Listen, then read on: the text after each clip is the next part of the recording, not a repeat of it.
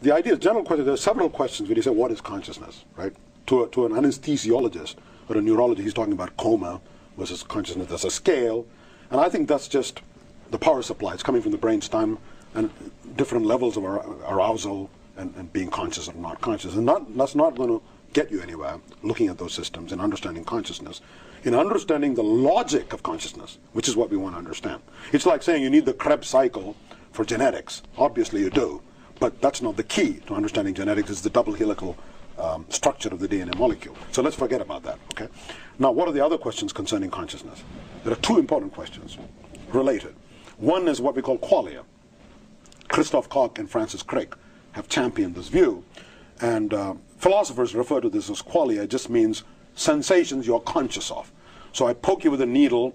It's not just that you say, ow, okay?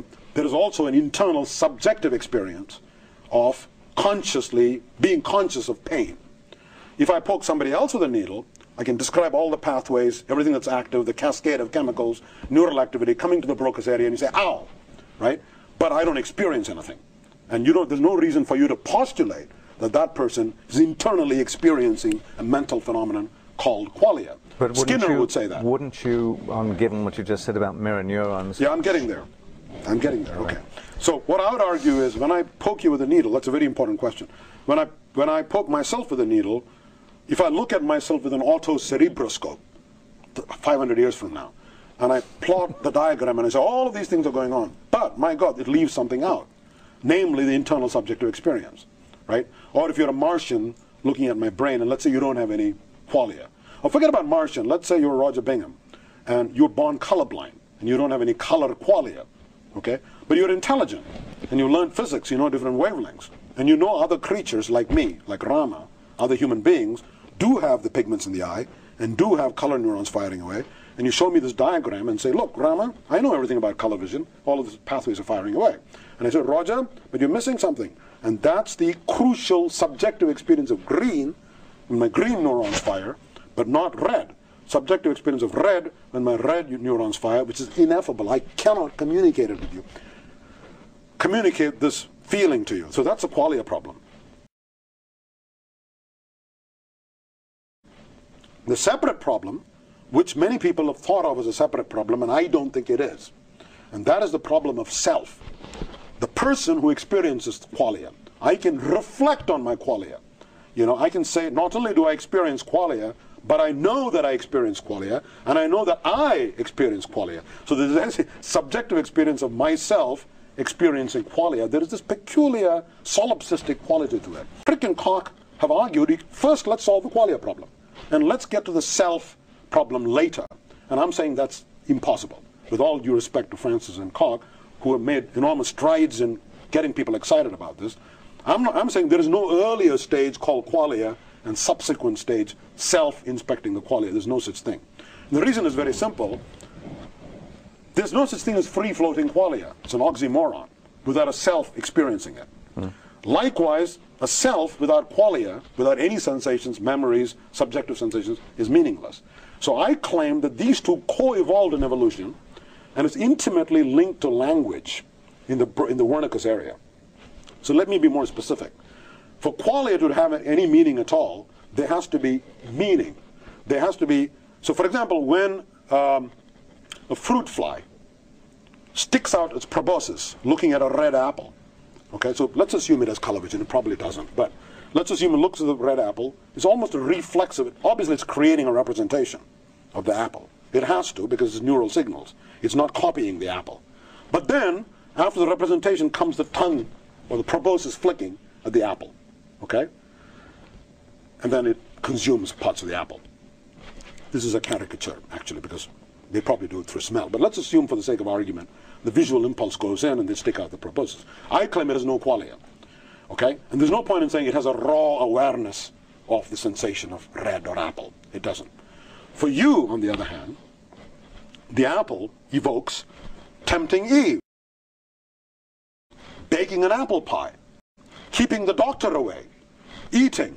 It's got a thousands, in fact, virtually infinite. Or if you're Newton, hey, it's falling, makes you think of gravity. Maybe that's what holds the solar system in place. Mm -hmm. So the implications are potentially infinite.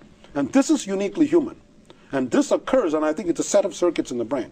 Another point I would disagree with is the notion that there are neurons, qualia neurons, or conscious neurons. Crick says this playfully, just to be provocative. But some people take it seriously. I don't think there's any such thing.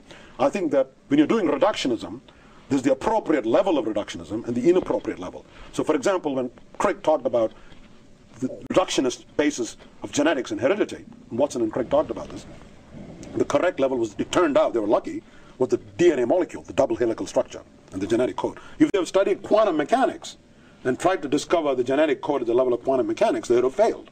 So similarly, to understand consciousness and qualia, I don't think you're going to understand it at the level of single neurons.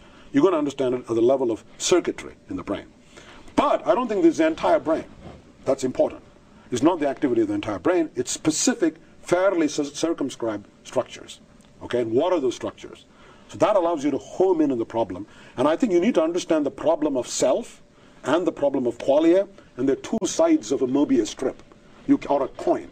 You cannot understand one without simultaneously understanding other. And this is where people have been led astray, thinking the self is some complicated other problem. Let's, let's solve qualia first, eventually we'll get to the problem of self. And I think you need to solve them, tackle them simultaneously, and need to map it on, map on the functional logic of consciousness, self, qualia, meaning, right? What do you, how do neurons instantiate meaning? That's the holy, holy grail of neuroscience. And I don't think lower animals, even monkeys, do that to the same extent. You may see some rudiments of this in great apes. I think it required the emergence of the supramarginal gyrus, which, is, which became the angular gyrus and, the, uh, and another structure in the human brain. Sorry, Scratch that. The inferior parietal lobule, which split into angular gyrus and supramarginal gyrus in humans, right? So that's unique to humans. And an enormous angular gyrus, which is also unique to humans.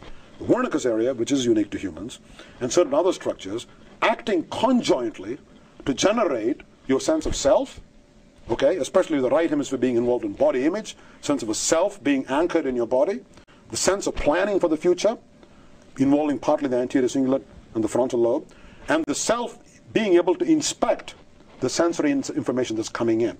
Now, this, this is dangerous territory because when you say inspect, it makes you think of the homunculus fallacy. There's a little person watching. That's not what I'm saying.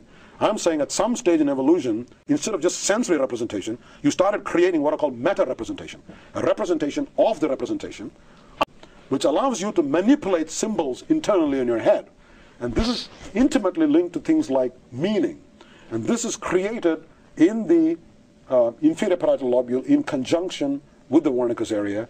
To some extent, it also linked to the sense of agency, which is there in the anterior cingulate. And all of this acting in conjunction, there's the emergence of this dual property of qualia and self, which I think is unique to humans.